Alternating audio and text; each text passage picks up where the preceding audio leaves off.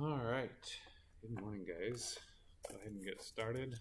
Um, I've graded the homeworks, and I will pass those back. I started on the critical review assignments as well. Didn't quite get those finished yet, so we'll give those back probably on Thursday.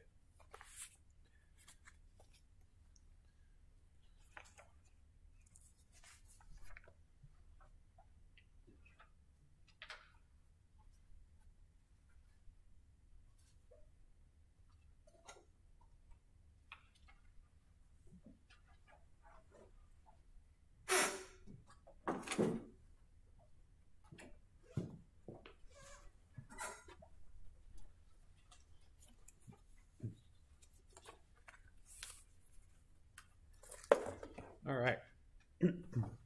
So today we're going to talk about disinfection, which is a favorite of mine. I like to start off by asking asking you guys what the difference between sterilizing and disinfecting something is. So if I take this water and I irradiate it with a bunch of UV light, is that you know may, let's say to the point where you know we meet common disinfection standards, is that also sterile? Probably not. Probably not. Yes, no, maybe. Yeah, okay. The other the other two have answered. You, you have to now. Mm-hmm. so no, no, it's not sterile. Okay, so the definition the definitions here are pretty important because I actually do have a UV light, and we will use it today because that's fun. Um, the the deal is how we define sterile is basically whether or not something can reproduce. Okay, so it's not even whether it's living or dead. Come to the slides. We we define it as like if if we sterilize an animal, for example, we're making it so that it can no longer reproduce, or we would call some hybridized species um, as sterile. Um, you know, a, a mule is a sterile animal. So there's there's a few ways to think about it, but essentially, when we're talking about pathogens, we don't want them to be able to multiply. You know, uh, as much toxins as one botulinum bacteria can produce, uh, we're not really concerned about one of them because that's going to be like nanograms or less of whatever toxin, right? We, what we're concerned about in terms of pathogens is them reproducing and then making a toxin or reproducing and causing an infection. And that infection is literally them multiplying. So when we say sterile, we actually don't even need them to be dead. We just need them to not be reproducing. At the same time, when we talk about disinfection, we we we again, we want them to be inactivated or um, unable to reproduce, but we only care about it down to the point where they're no longer at infectious levels, right? So we could just completely destroy every single living thing in here, and that would be sterile, or denature the DNA and everything in here, but all the cells can still be living and just can't reproduce. We could also call that sterile. Or we could say, let's just remove most of the bacteria. And if there was if there were pathogenic bacteria, there's only a few left. Okay, that's disinfected, but that's not what we consider sterile. So there's kind of a um, two two things at play there um, that we can consider.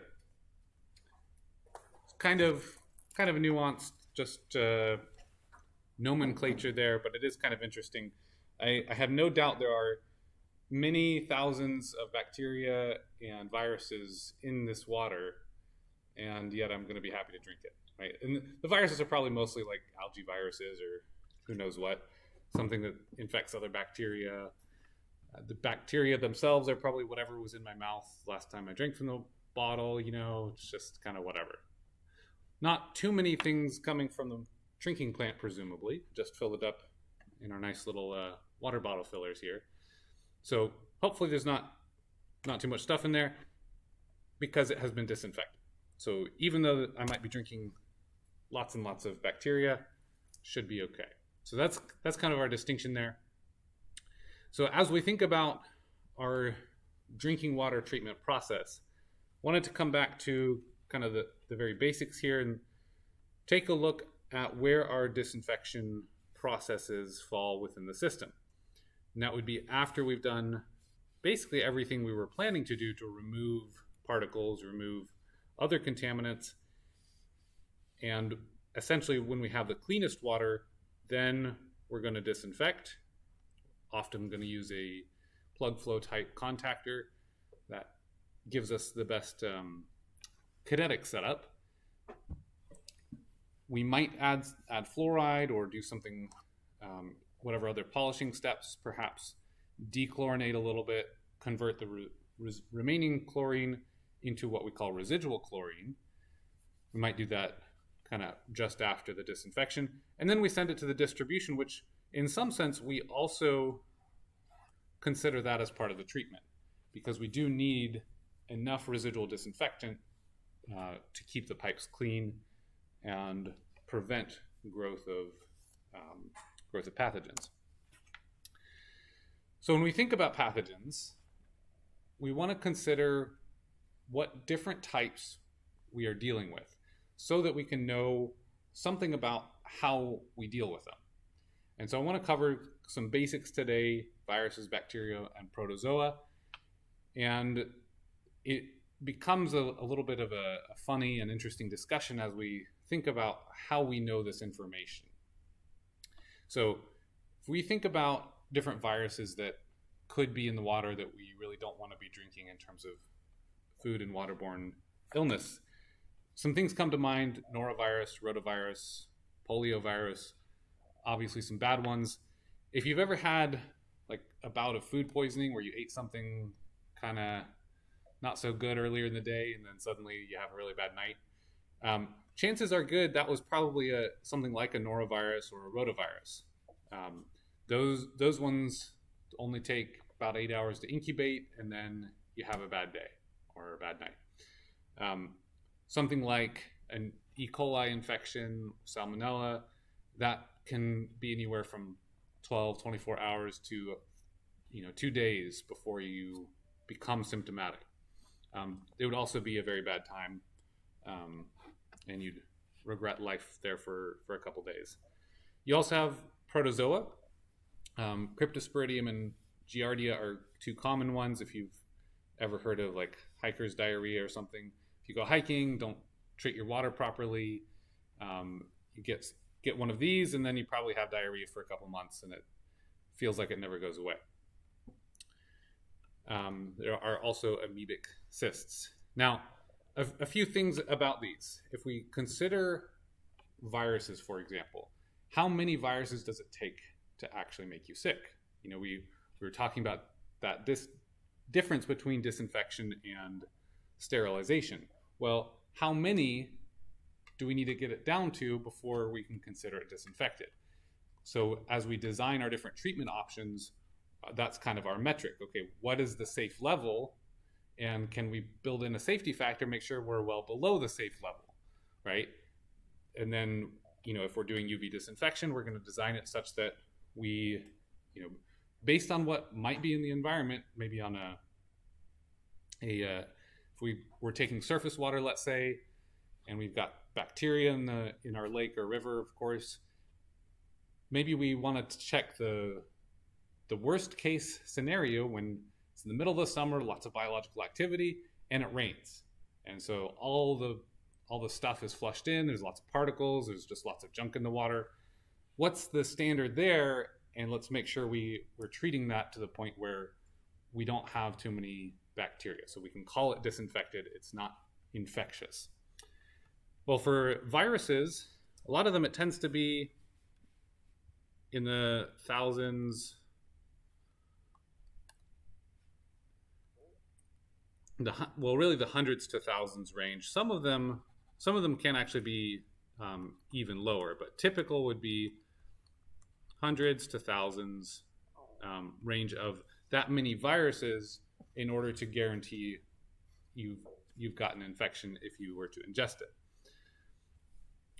Bacteria, and, and this this does vary from virus to virus. Um, I think norovirus might even be in the like around 50 or something like that.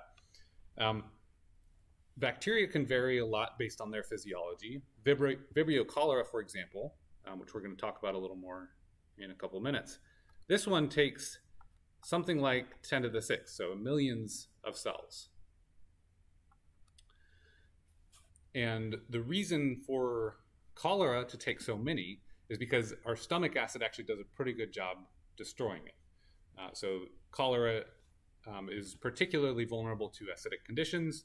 And so if I happen to know that my water was contaminated with cholera, I really would would prefer to drink it on an empty stomach so that I have more stomach acid. And I can guarantee that my stomach is at a higher acidity. And I would also want to drink it uh, sip by sip, so you know, not just flush a whole bunch down, right? So if I if I had to drink a, a glass full of cholera infested water, that that would be my plan. Wait, you know, multiple hours, maybe six, eight hours after dinner, you know, after a meal, just to be safe, and then just sip it down.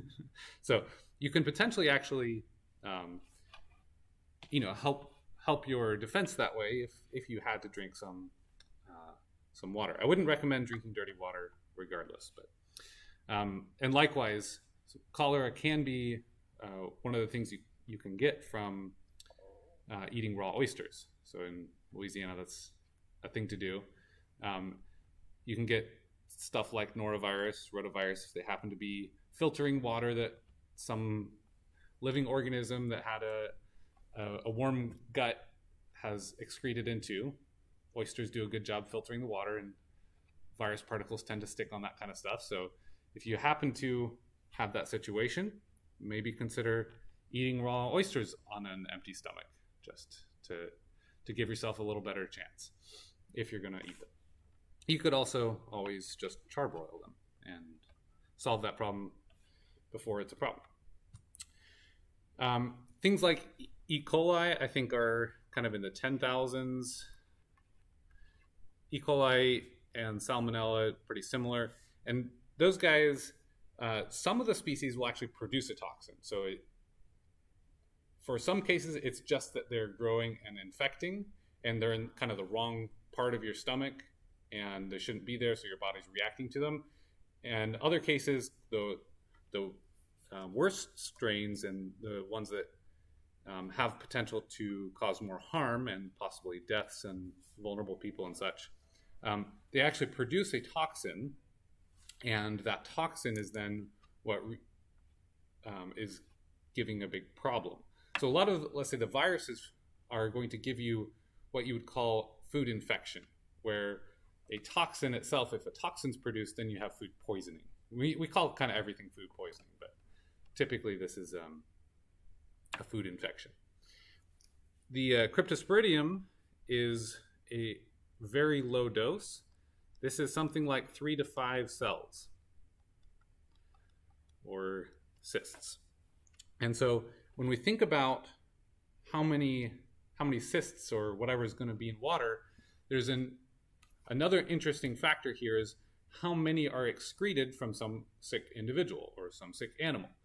So understanding how many are going to be in the environment, how many are likely to be in the water, because if if we have in maybe some natural water source um, a thousand crypto cells per liter, and then we want to drink treat that to a drinkable level where you're not having you're having less than three to five cells in a, a day of drinking water or something, then you can kind of start designing your treatment criteria. It's okay if every once in a while you have one of these cells, probably.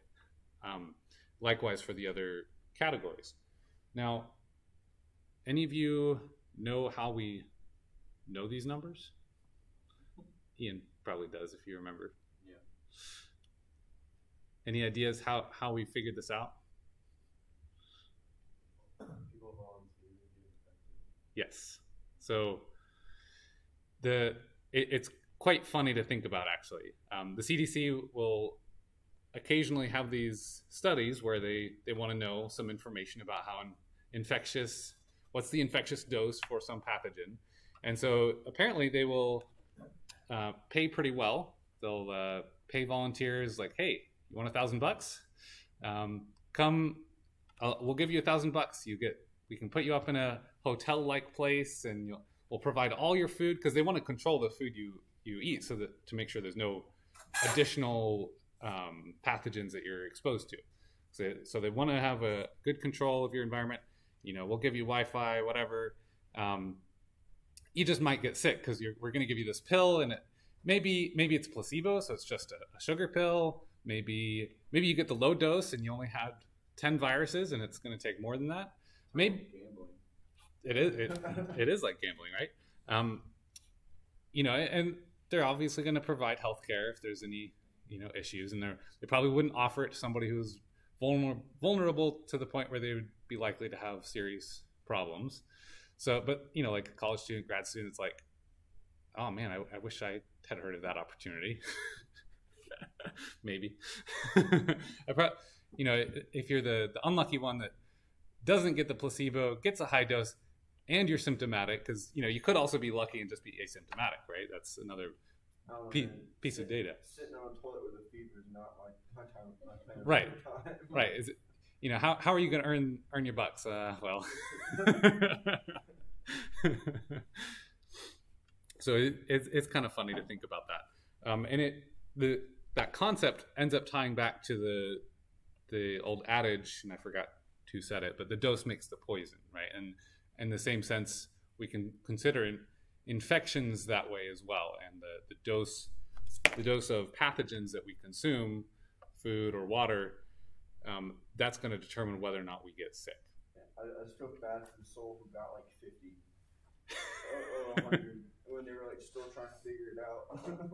Yep. Because I know that they had one that was that high. yeah, for, like for the crypto. Yeah. So that person is definitely having a bad Bad time. yeah. So I, that's a, yeah, and actually the crypto that that would you'd need um, kind of a longer time frame for that one. So that's because that that's illness lasts a longer time. So that's that's interesting, you know, and you can't you normally can't test directly on human subjects, so you have to have volunteers set up this way. So there's there's actually like ethical review panels for this type of thing, and you have to get all these approvals. Like, no, you you have to be sure that you're not just like coercing people because the money is so good, but you also don't want to not pay them when they're getting sick. You know, there's a, a weird I think like A weird you just have to tell them like exactly what would happen like the worst case scenario. You have to like tell them, right. and I mean, it'd be like one of those commercials when, when they when they give you like a um. Shoot. Oh, oh yeah, all the all the um, all the side, effects. Right. and it's like may cause death. you know? yep. Okay, so with that, I want to talk just a little bit about epidemiology.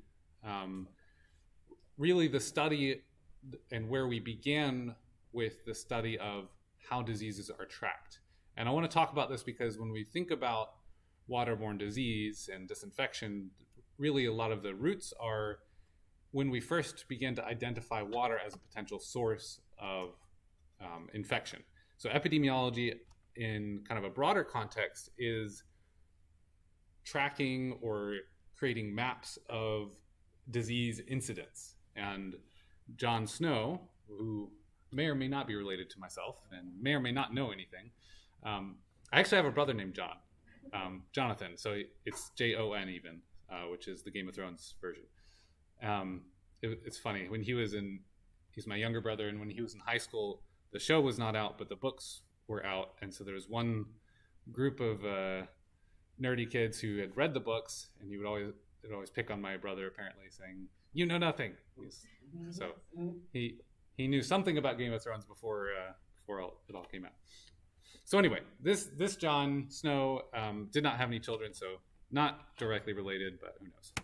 Um, he was what what we refer to him as the father of epidemiology because in the 1850s there was a bad cholera outbreak in London, and uh, if you've ever if you've ever been, you can visit the Broad Street pump, where which was essentially the epicenter, um, and uh, you know we'll talk about that about why it's famous, but it's kind of a historic landmark, and it was really one of the first times we've uh, in uh, known history that we actually tracked a causal relationship. Here's the cause of the disease and the source of it, and why these people got sick. Um, it's really kind of in that era of the development of the germ theory of disease, and really uh, kind of a big step forward in um, motivating water treatment in general. Okay, so the, the uh, he made what what we now call the ghost map, which essentially was a map.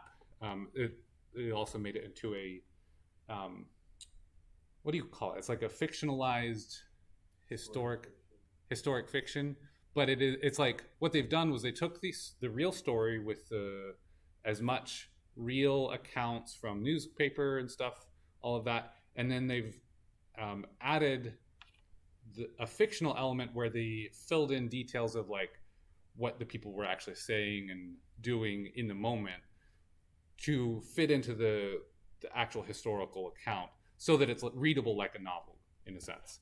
So it's a it's a great read. It's a simple read. Um, that's by Steven Johnson, and it it follows um, the the John Snow um, ghost map of uh, this cholera outbreak.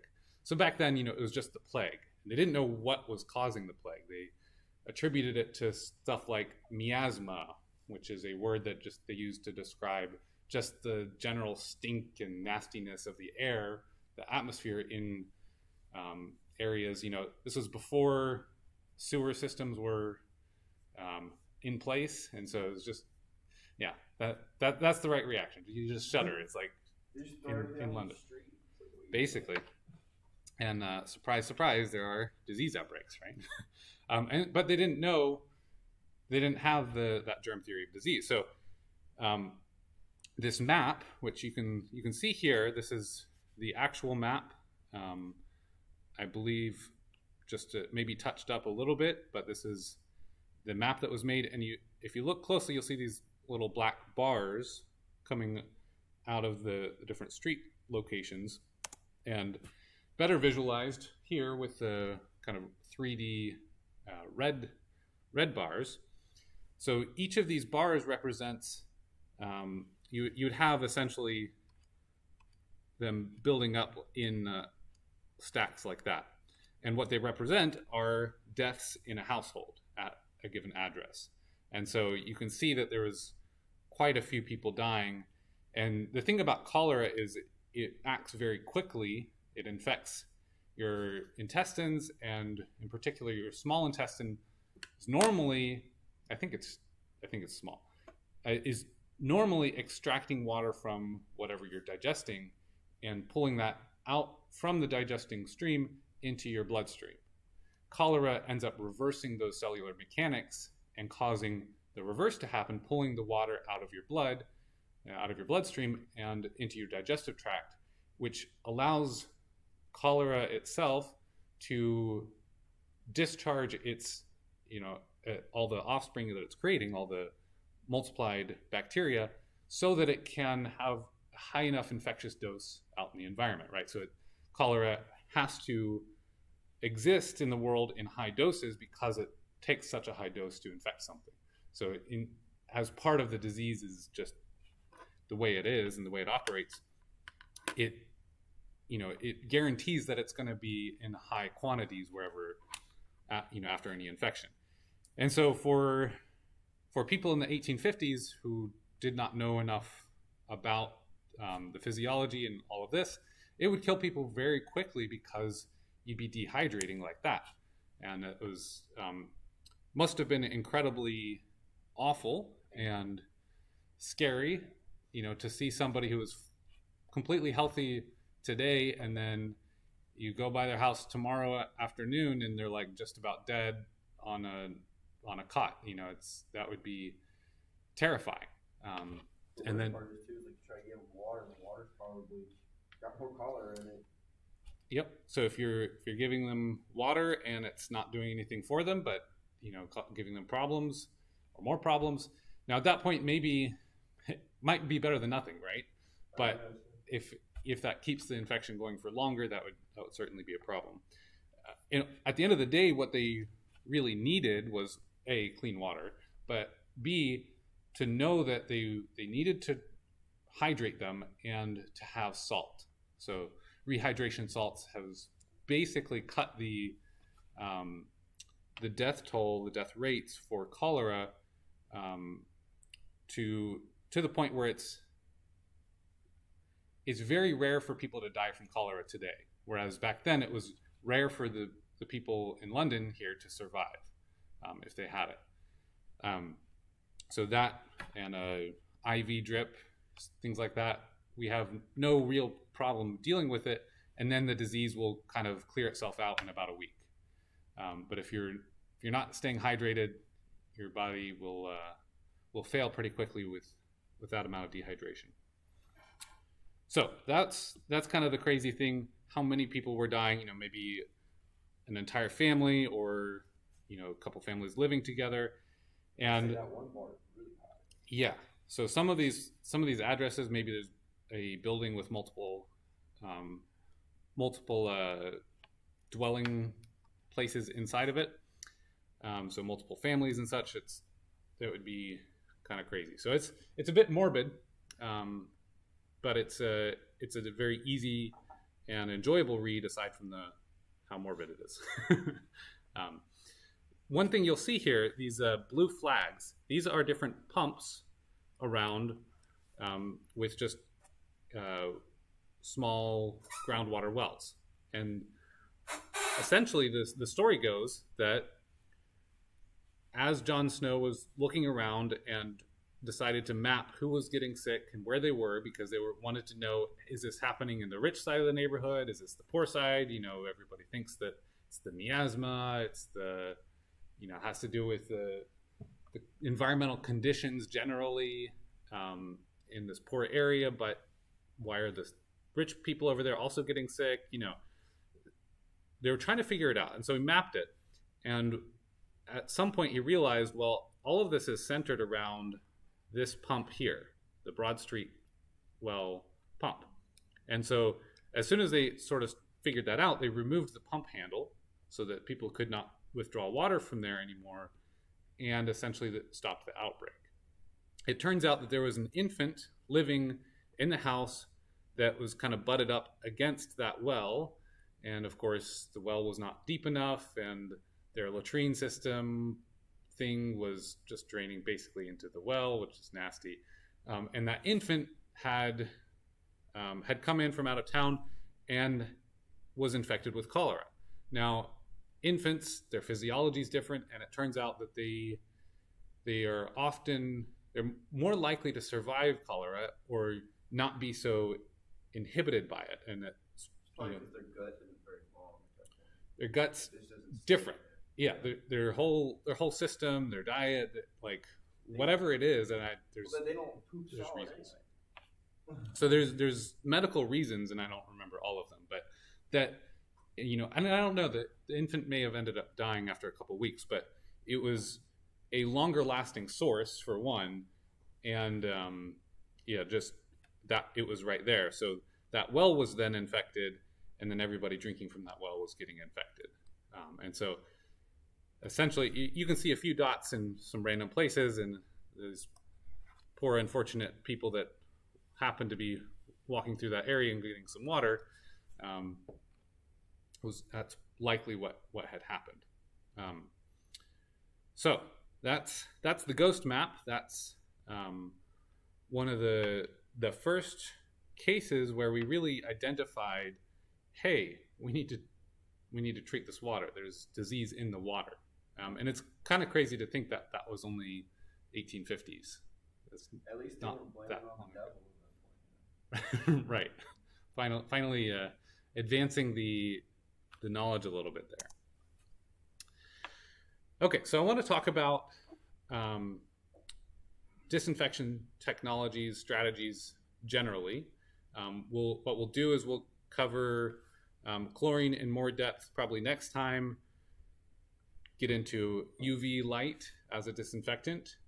And then we're also going to add on advanced oxidation as a, a component of, um, you know, as kind of a follow up to these chemical disinfectants and the UV. It's something we can combine. We don't normally use advanced oxidation specifically for disinfection, although it would work fine. Um, it's usually a little bit more costly and designed to get rid of um, pharmaceuticals and other things that are just tougher to destroy and require or warrant that extra attention to killing stuff or you know destroying stuff. So uh, free chlorine would be our kind of our gold standard. What we always think of when we think about chlorinating something. Um, we will typically apply free chlorine as chlorine gas, Cl2, um, which will actually react with water. Um, so if we have Cl2 gas, this is going to react with water, and we're going to end up forming, um, we'll end up getting a Cl minus in the process, but we will, that reaction with water will get us an HOCl. So taking one the O here and one of the H's, one of the chlorines, that gives us the HOCl, and it's going to give us kick off a proton. So we get a bit of acidity. One of the chloride atoms, chlorine atoms, um, gets kicked out as a chloride, and then the other is this HOCl, and this is one of the things we describe as free chlorine. Um, this free chlorine, this HOCl or hypochlorous acid, this is in equilibrium with its conjugate base, OCl minus. So we have this equilibrium reaction that's driving the difference between um, HOCl and OCl minus. Now, you might not think that this is too important, except that HOCl is a stronger disinfectant. Um, so we actually do have to worry ourselves with how much of our free chlorine is existing in HOCl compared to OCl minus. Um, since HOCl is the stronger of the two, we really want to make sure that the majority of the chlorine that we're applying is in that form. If you were to look at typical rate constants, I think OCl minus tends to be like 10 times weaker in terms of the, uh, the speed at which it's disinfecting things. Um, so we'll say that the HOCl, this is the stronger one. So that means we want our disinfectant um, process, disinfection process, to be slightly acidic so that we have more of the H plus that drives the, the equilibrium left so that we end up with more HOCl. Um, so we'll go we'll go through some examples um, in a few minutes, and in general, we've seen this type of thing before already, um, or certainly you've you've seen it at least at some point in the past with equilibrium chemistry. So we'll we'll go through it um, just to kind of give an example. But that's that's free chlorine, and it doesn't really matter how we apply it. We could get NaOCl this is our household bleach, actually. That'll dissociate in water into sodium and OCl minus.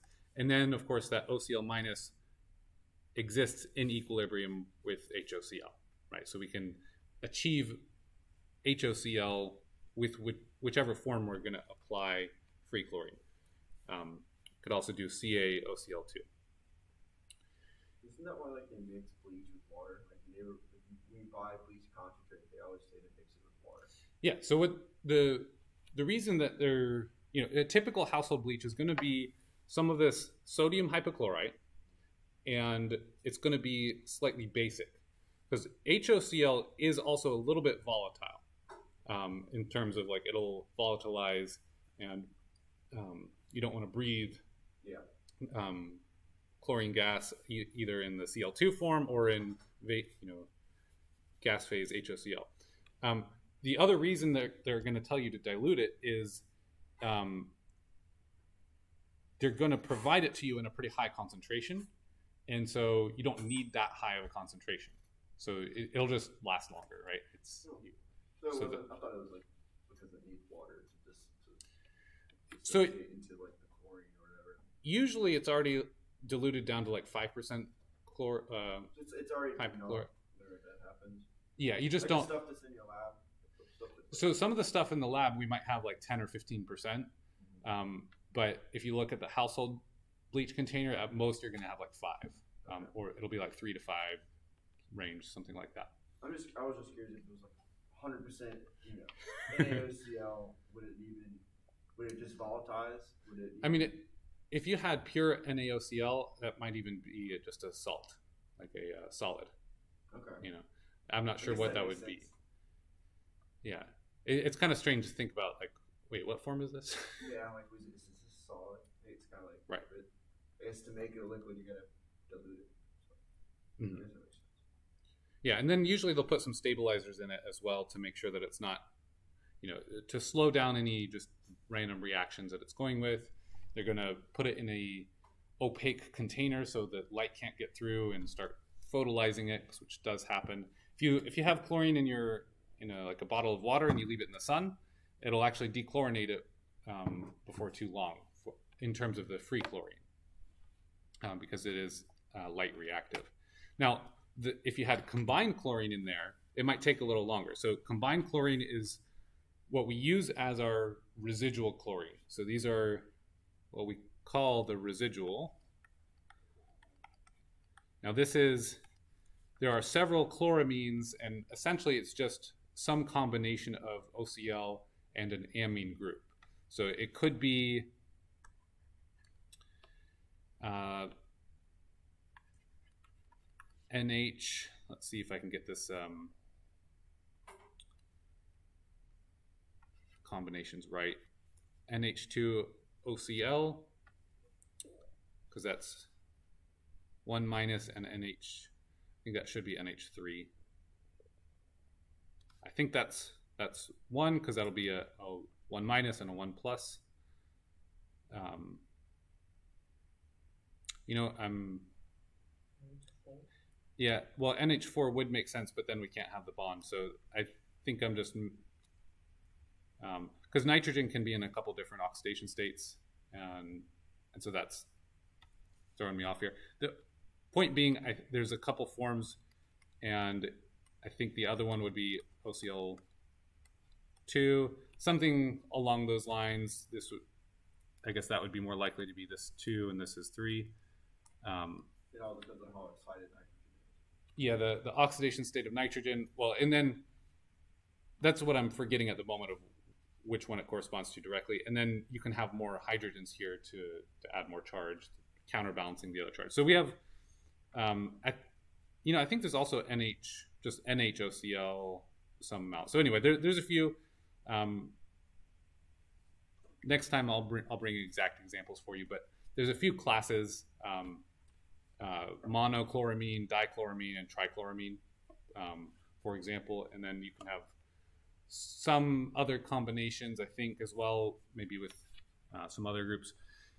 At any rate, these are what we would consider our um, chloramines, and we will intentionally add ammonia to our disinfection process at the end of it in order to react and consume the remaining free chlorine and produce this combined chlorine to send down our distribution.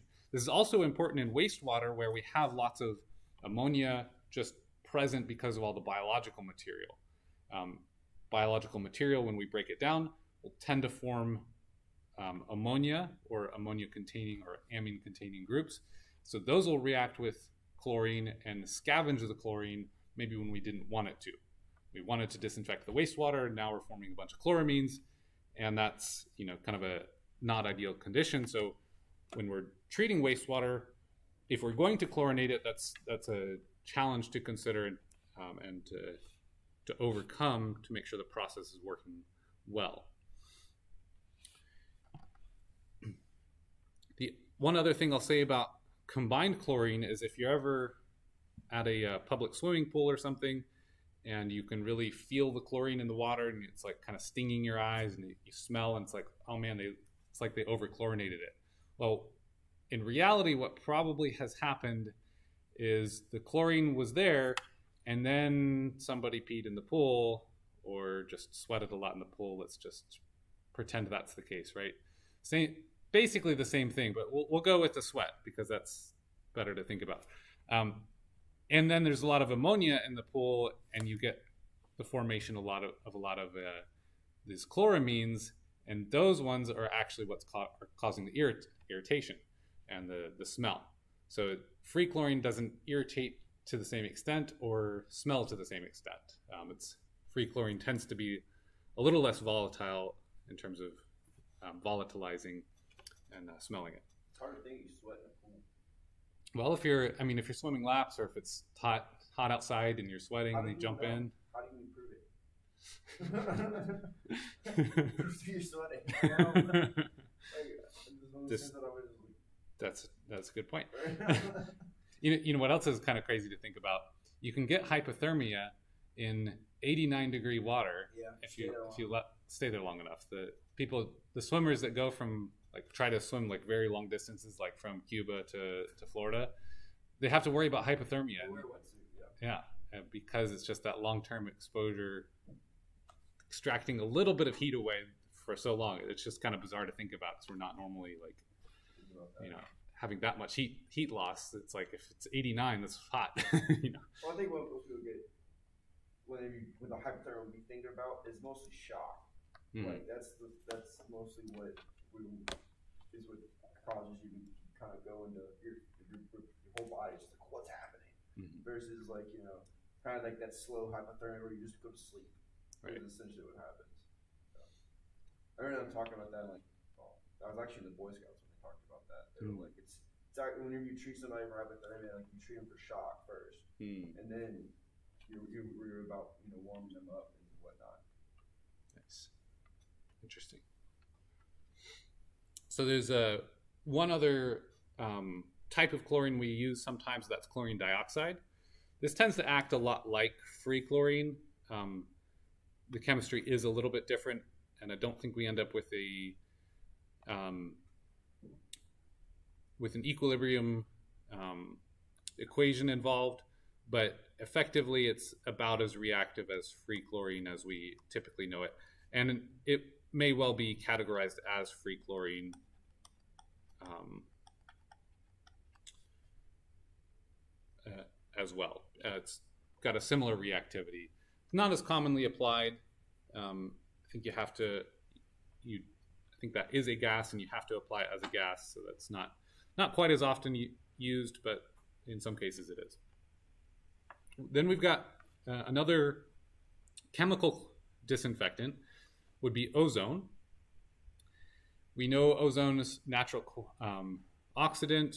We don't like it in our our lower atmosphere, the troposphere, because it's a lung irritant. If you've got asthma, participates in a lot of photochemical reactions, creates radicals, things like that. So, in terms of you know our daily exposure to it, um, you probably know it as oh the ozone layer or oh the smog. Um, but it's a natural oxidant. We can certainly use it as a disinfectant, much like chlorine. Um, it works quite well, and it has a particular, um, particularly good use against cryptosporidium spores and the like, where the cryptosporidium often shell up in a, a hard cyst that protects itself from the environment. Um, also makes it difficult to treat, and therefore more likely to make its way into our water. And so, one of the good technologies or treatment options to use for that um, is ozone. So we'll say good for good for crypto.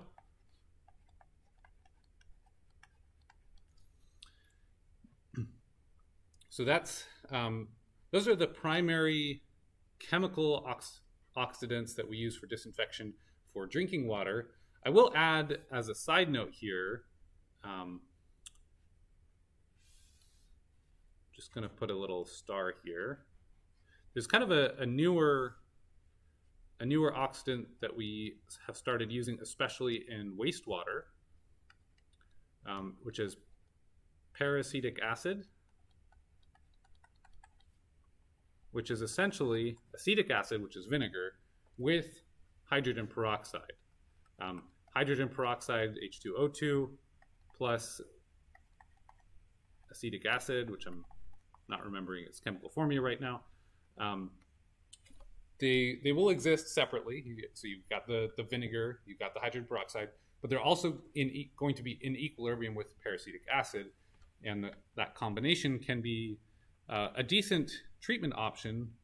Acetic acid is not particularly toxic. We don't mind discharging that into the environment. It's not a not a big concern. It's easy for um, organisms to digest or get rid of, and it's not you know it's not going to be added in such high amounts that it's creating a lot of oxygen demand or anything like that. So it's something that we can use in our wastewater and get some pretty good disinfection. Can potentially also combine that with um, advanced oxidation, talk about in a moment. Um, there, there are others we could also consider. Um, iodine, for example, is sometimes used. Iodine tablets for like going hiking or something. Uh, in a pinch, you can use it. Might taste bad, but would disinfect your water, and you'd, you'd be able to uh, consume it safely. You do it all the time. You don't want to do it all the time, right? Um, so that's that's kind of the the rundown of the primary chemical disinfectants up to that point.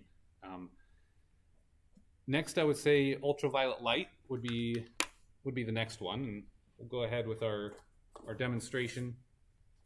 So I've got a, a neat SteriPen here. Um, you know, before I before I do that, if you haven't seen the Lifesaver bottles, I brought that too. This is a membrane filtration unit that you can pump by hand. You pressurize it. You first have to pour, pour your water in the uh, that side, the dirty water, and you kind of have a little bit of a, a crude filter to catch particles here then the water essentially goes in and around outside of the, the primary chamber. And then your pressurization is going to allow you to push water through the membrane, which is, you can kind of see the sidewalls, there's a kind of grid stuff. We can pass this around in a minute. Um, and then it's going to pressurize it through there and then into the, the main drinking chamber. And it also has a, um, open. So there's a, a small chamber in the middle um, where it collects the water, and then you can have a little carbon filter just to kind of polish it up, get rid of chemical stuff that would make it through the, the microfiltration membrane here. Actually, it's probably ultrafiltration, technically. So this is probably a 0.22 micron filter, something like that, that'll catch a lot of viruses, um, pretty much all bacteria, all protozoa, something like that. So it would do a pretty good job in a pinch. It's got like uh, little labels on how to use it. And essentially you just pump it by hand. It'll pressurize, be a little bit tough. Once I get it pressurized, we should be able to uh, hear it. So, pretty neat. Um, I think there's newer newer versions. Had this one for a little while. Haven't really used it. Um, so that's kind of cool. I also have this SteriPen, and I'm I'm actually kind of excited to see these get replaced by LED devices. Um, this is a small fluorescent light inside of here, and it's a, got a special case that is UV transmittent. Um, it is a plastic case, so it is absorbing some of the UV, less effective than it could be. Um, but it's designed so that it will only turn on when it's submersed. So, brought my water bottle so we can check it out. Now, we wouldn't want to expose ourselves to the UV, but fortunately, the plastic here will absorb all of it. And even if it was shining um, from here, I would have some issues. So I would want to look away and cover my skin. But you guys, it wouldn't actually reach you. The, the UV attenuates so quickly through our atmosphere whatever ozone and all the oxygen in our atmosphere is actually absorbing it quite strongly. Can play with this in uh, in my lab with our UV lights and have a UV radiometer and hide ourselves, but have the, radiometer exposed and kind of check how far is this actually traveling, and it it really di- diminishes quite rapidly. Um, but if we have batteries, there we go. You can see um, just kind of shining that blue color. That blue is not the UV. Um, in fact, no, we shouldn't be able to see any of the UV ourselves. But the the idea here is you just kind of stir it, and that UV is disinfecting my water. Um, and then as soon as I pull it out, yep, it stops. And it's like, oh, What well. nanometer is that one at? So this is mercury, and it's a low pressure mercury lamp, so that emits at 254 nanometers. That's the characteristic peak. That's what most of our um, most of our UV disinfection technology has been uh, designed around for quite some time.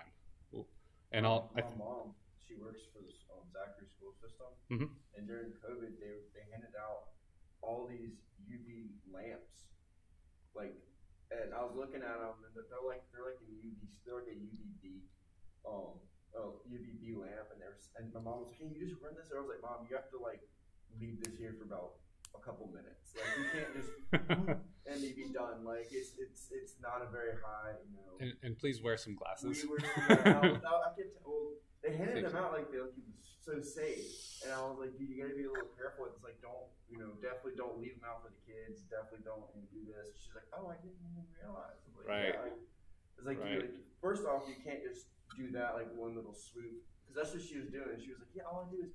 I like, that does nothing. There's absolutely nothing. Like you literally have to Right. sit there probably for about. If you're really trying to kill a virus, probably around five minutes. well, and it, it'll depend on the dose, right? Yeah, to- totally. And you know, I guess what, what whatever I guess whatever's on the um, but she deals with like um, special needs kids, so like there's There's gonna there's gonna be a lot. yeah, so like you know that's why they handed them out to her right. to do that. And I was like, you're better off just hitting it with a Clorox wipe. Like, like It, I know it's cool, but like it's a cool idea. It's fun, but there is a, an important safety factor there. And uh, if it it is was that like almost it was like almost UVC. I think it was like at three like three fifty eight. like 305 or something, like Yeah, the 305. That's it. Yeah. Yeah. It was. It was. It, three- I couldn't remember. I, I couldn't remember what the other number was. yeah. So we'll we'll talk about we'll talk more about the different ranges and but that, but that's like the the stuff that is carcinogenic um, in some sense. It's not it's not quite DNA denaturing very much, although maybe a little bit, which is not good for general public use. Um, but it uh, that that's the the highest energy portion of sunlight that does reach us is kind of that that spot. Um, so that that is definitely sunburn territory, um, and not the good kind. um, it's also kind of funny that you know we we got all excited about disinfecting surfaces and everything, and then you know a few months into the pandemic, we we start to learn that well, really the corona coronavirus dies pretty quick on surfaces when it dries out, and it's not really fomite transmittable as for any reasonable you know amount.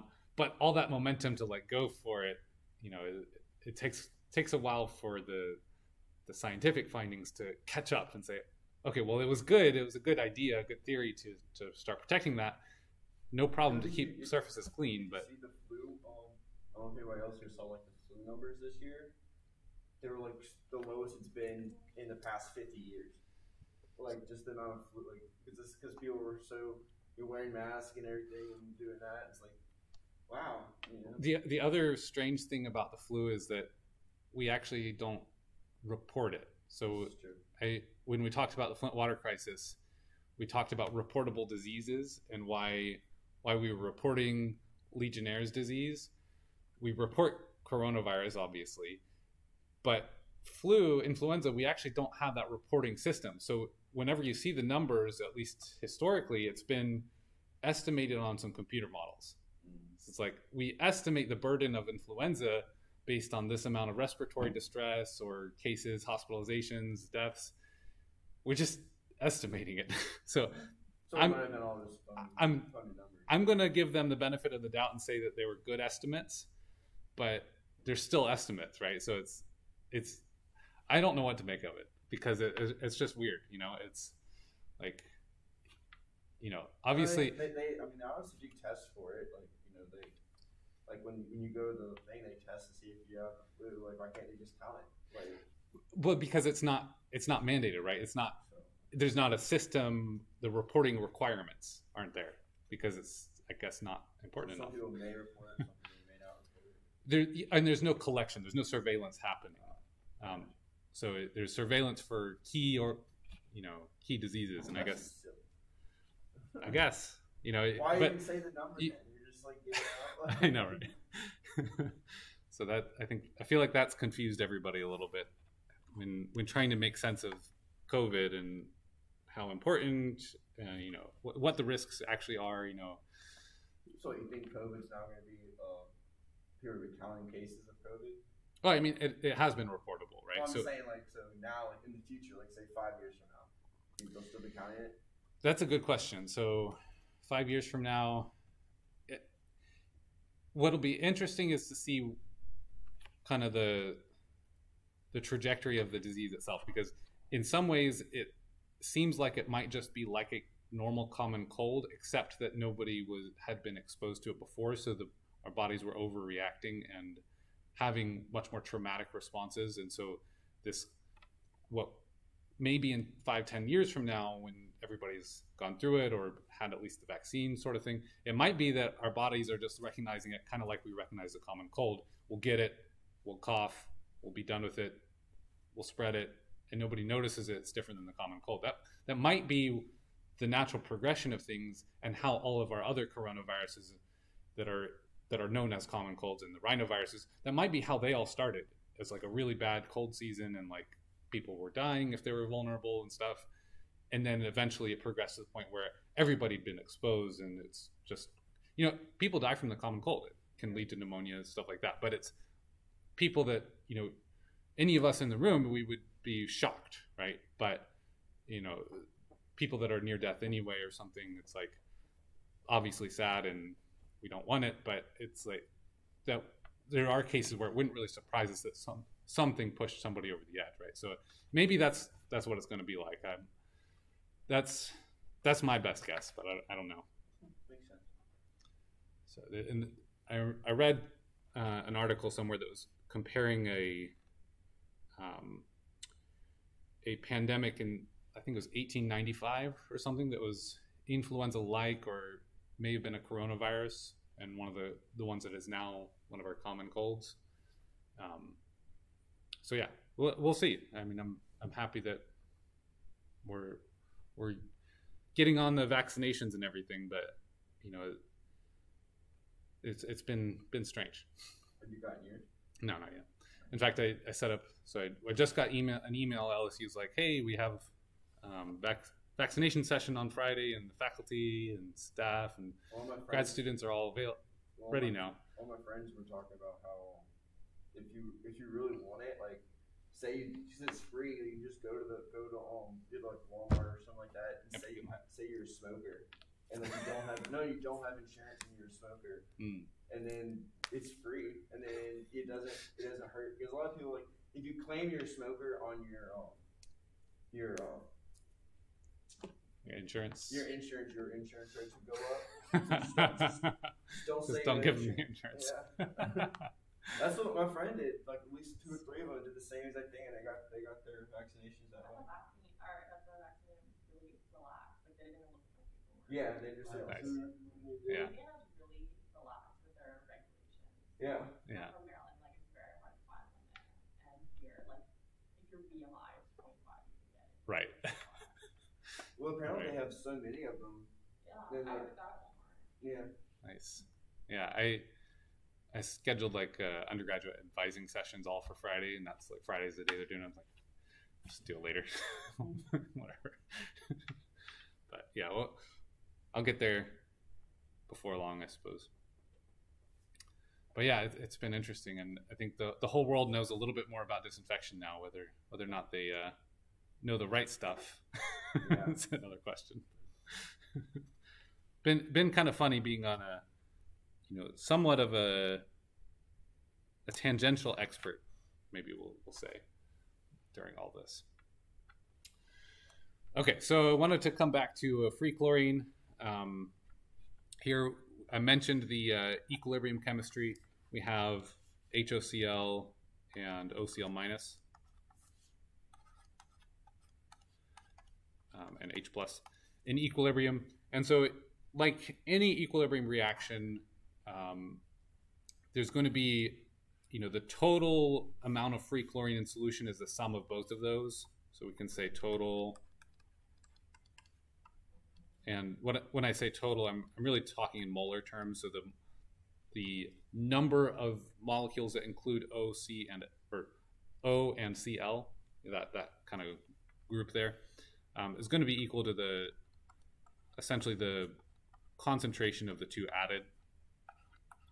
It's what I'm writing here is very obvious when you think about it, um, but when you're solving problems, you might not be thinking um, about the obvious. That happens sometimes, and so that I wanted to write that up and remind you of that that that's a, a simple principle that gives us one one piece of the equation if we need to we need to solve we've got two unknowns we need a system of equations to substitute this is often one of them.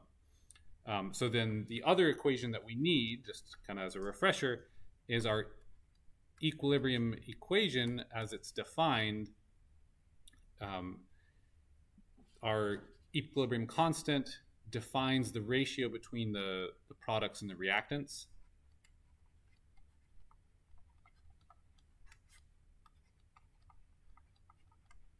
And I should go ahead and actually write that up a little more proper here.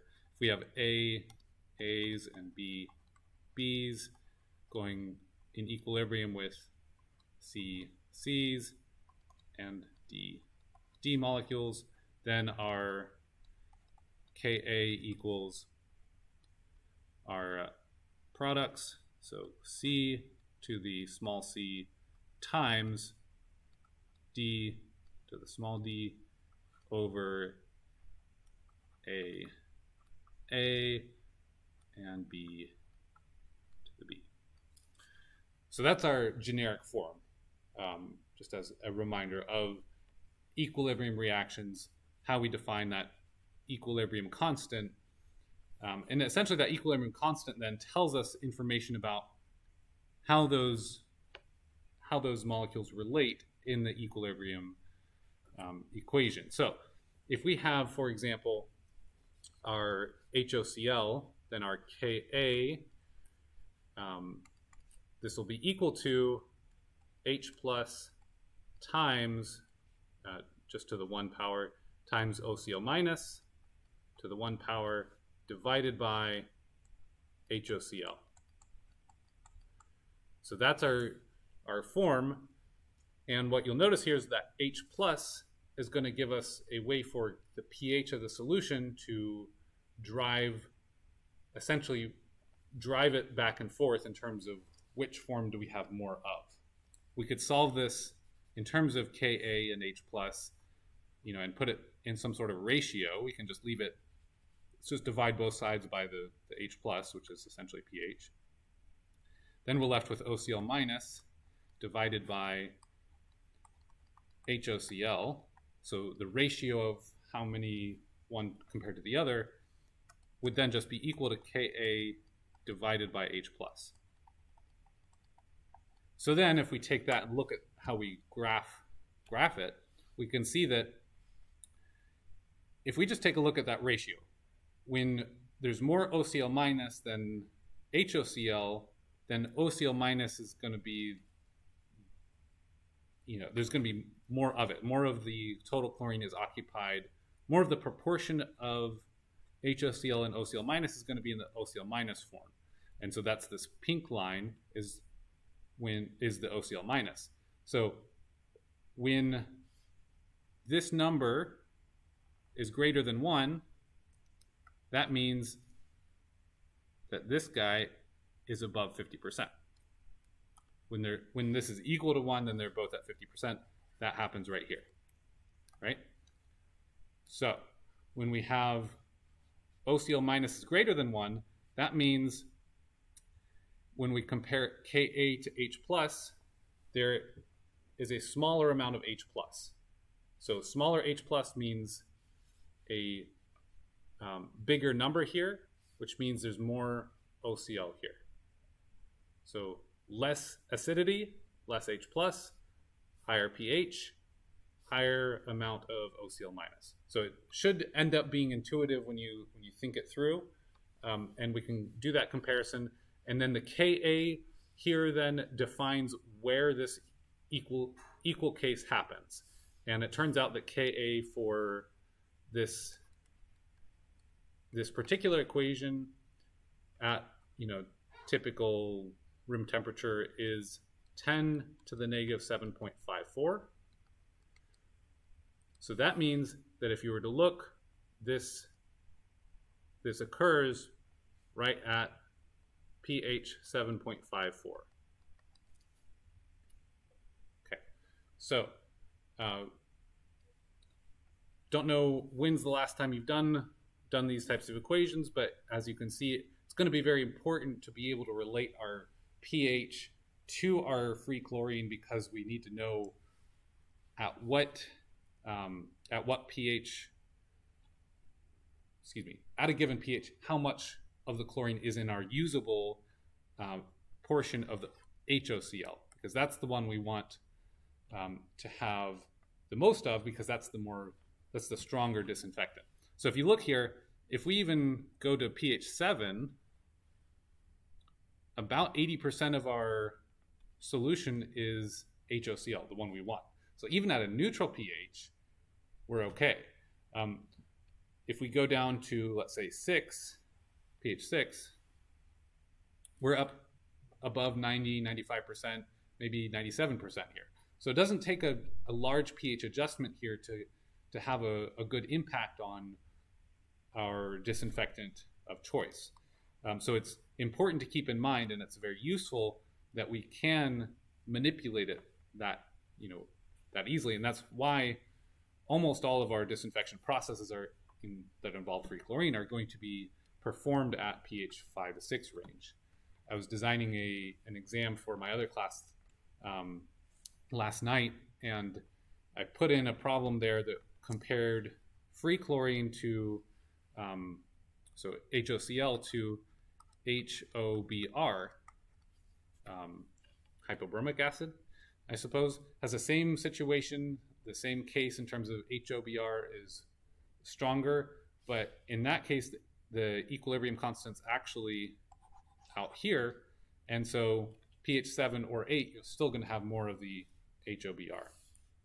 So, just kind of an interesting uh, thing there. You some swimming pools do use bromine instead of chlorine. Um, and one of the reasons you might want to do that is if you don't care to control your pH quite as well, you can achieve the same thing, um, the same uh, equilibrium um, manipulation with higher pHs. Maybe there's some other reasons um, as well. Um, So, yeah. I was gonna. So what if you were at pH nine here? You're like, oh, this isn't good. Yeah. How would you get? Would you just add like hydronium or something? You'd add acid. Um, A lot of times- imagine you wouldn't want to add in the mean. So w- typically, what you're going to be adding, um, I think probably the most common will be sulfuric acid. Um, or hydrochloric acid. So HCl um, is pretty standard, especially in labs. H2SO4. So sulfuric acid is also pretty pretty common. Um, maybe you don't want to be adding sulfate in some cases, so you, you might want to be um, concerned about that. But those are typical mineral acids. You want to you generally want to use a mineral acid so that when it dissociates, you're just left with a mineral or a just a inorganic ion and the protons. Um, so that's that's pretty common. It's also why, if you're working in a lab, you generally are okay to flush mineral acids down the pipe, unless it's like hydrofluoric acid, then don't do that. um, but generally, it's it's okay to just because that's that's just going to be a, a little bit of chloride, and you do the same thing when you add some sodium chloride to water or whatever. You know, it's you're not adding anything that's crazy, any organic acids or anything like that. Um, on the flip side, if you need to to make a process more basic, you probably add um, sodium hydroxide or some sort of al- alkaline um, stuff. Uh, it will depend a little bit on your, your process.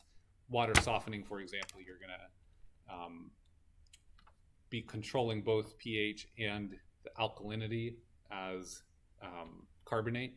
So that there's and, and, sometimes switching back and forth. So there's there's some interesting stuff there. Um, maybe we'll get into after disinfection if we if we have time and interest. Oops, that's blank. Okay, it's like that's not the end of the slides. That I hit B instead of spacebar. Okay, so here's a little practice problem um, to get us familiar with the process. Um, we have 15 milligrams per liter of HOCLs added to potable water for disinfection. The final measured pH is 7. What is the percent of HOCl that is not dissociated? Is our question here. Now, one thing to keep in mind is the equilibrium constants are temperature dependent. So that's why we were given a temperature. Um, we could use a lookup table. I'm just going to say that we'll just go with that, that default value I was using earlier, 10 to the negative 7.54.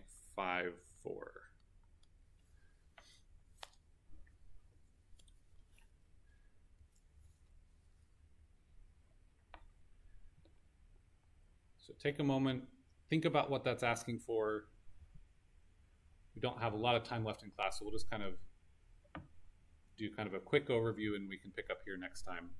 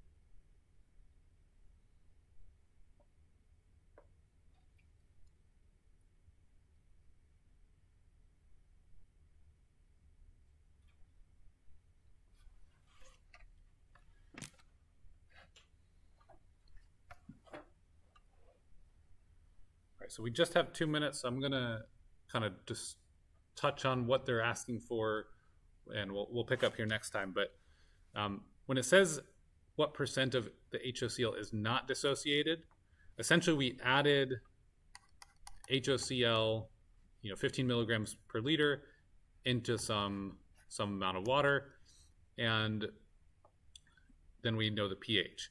And so when it says dissociated, we're talking about a dissociation reaction going forward to H plus and OCl minus. So it's dissociating into these two components. Now, we know that this is going to be in an equilibrium, and so some of it is not going to dissociate, or effectively it's going to reassociate or find that balance, right? So what the questioning is asking us to do is to find what percent of the total is still as HOCl. So what we're going to look for is something like HOCl divided by the total chlorine. We may be able to do this without um, actually solving with the molecular weight for the chlorine. If I, th I think there's a, a, clever algebraic algebraic way we can do that, just knowing the pH and our equilibrium constant.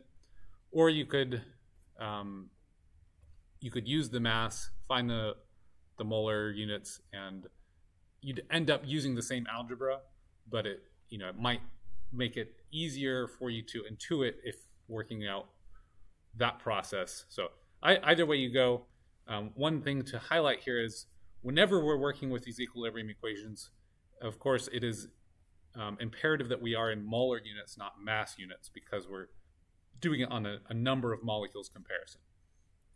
So we'll, we'll pick up there next time.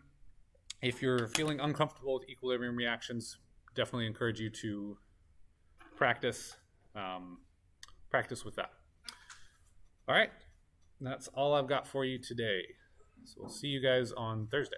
Oh, I did post the second homework. It's um, the uh, on membranes essentially. Um, I also graded the homeworks. I'll post those um, the grades soon. I'll, I should have the review assignments back to you on Thursday as well. Um, okay, so we'll see you guys next time.